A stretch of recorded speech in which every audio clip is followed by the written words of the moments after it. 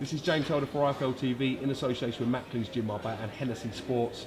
I'm in the Novotel in Monte Carlo today. With me, I've got minimum strawweight champion, WBA and IBO, Hekkie Budler. What's happening, Hekkie? You alright? Oh, it's good. Um, nice, nice to be on. Thanks for having me. No, do you know what? It's really, it's really good to get a chance to uh, catch up with you. I've heard your name mentioned quite a lot, and you're actually the lightest boxer, professional boxer I've ever interviewed. So Oh, it's good for you. for me, it's a bit of an No, honour as well. Yeah, it's a nice thing. Um, happy to be on. It's, it's good. Yeah, indeed, indeed. I know you fought in Monte Carlo twice before. Yeah.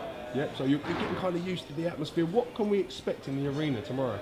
Well, I, I never make any predictions. I just say I'm going to win the fight. I don't care how I win as long as I win. But um, we trained hard. I'm ready. I have to to improve every fight. Um, so yeah, expect a, a, a, a good fight. Good for the viewers to watch. That's what I like hear. You're fighting Jesus Silvestre. Um, very difficult opponent, quite a tricky opponent. How much do you know about him? Oh, I've watched a few of his fights. Um, he's, he's an extremely hard puncher, a little bit taller than me, but I like that. Um, but, I- but I'm ready. We do, do we covered all the angles in our game plan, um, and he's just honestly a good fighter. He's not rated number one by the WBA for nothing. For, for nothing, it's hard to get there. So it's going to be a hard, tough fight.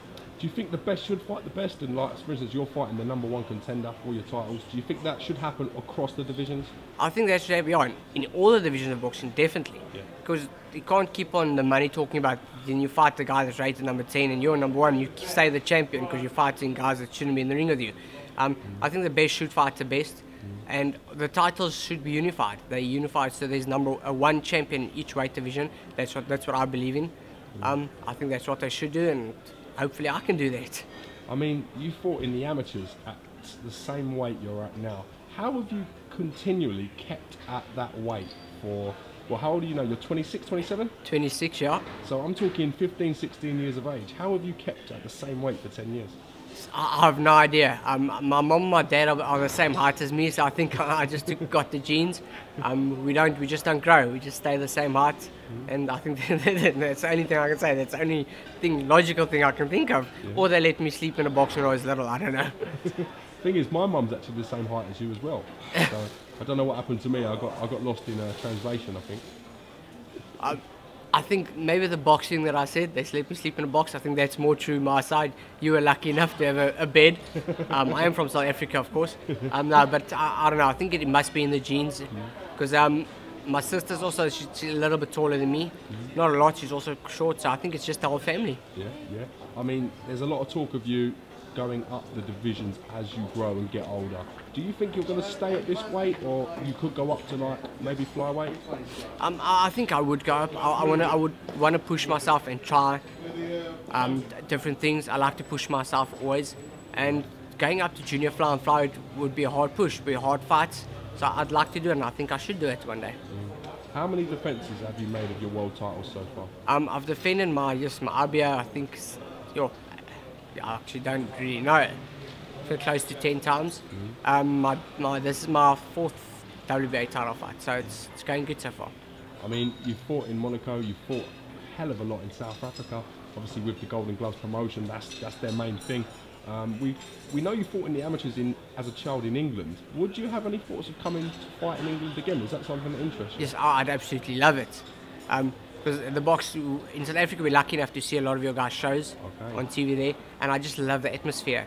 The, like um, with the fights we we have having here, Martin Murray's fight, the whole Barmy Army, it's, it's so much fun, and I enjoy the vibe, and I enjoy even if the guy people are against me, it doesn't really bother me. I just enjoy the noises of the crowd. It, it excites me and gets me hyped up.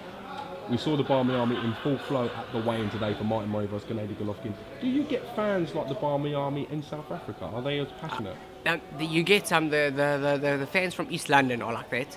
They go absolutely crazy. East London in South Africa? Yeah. Okay. Um, and they're very their, their knowledge of boxing is is uh, astounding. Mm-hmm. Honestly, all of them can give you advice. Actually, that's how good they are.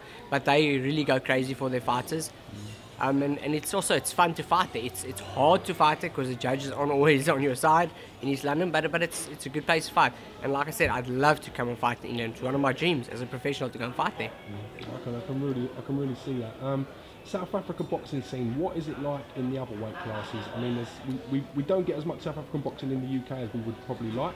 So can you tell me a little bit about the scene in South Africa? Well, there, there's a lot of talent, a lot of very good fighters. Um, The only thing, I don't know if I'm actually even allowed to say this, but there's some structures in the boxing that has fallen apart a bit in South Africa with TV. The, the national broadcast in South Africa is SABC, and they've stopped showing boxing completely. And, um, and that's taken a lot out of a lot of the promoters who don't want because they can't um, pay the guys to fight because they're not getting the TV rights. So that's taking a bit of a knock, but it's it's building up and it's getting better, and hopefully it will get back onto TV and we can produce more world champions and good fighters coming out of South Africa.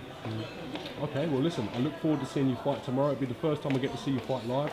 I did have a look at some of your videos on YouTube and I said you look like a fantastic fighter. So best of luck against Jesus Sylvester tomorrow and um, look forward to seeing you in action. Uh, thank you very much. God bless all the viewers. God bless you and watch your fights and enjoy it. Thank you. Top man, thank you, Hekkie.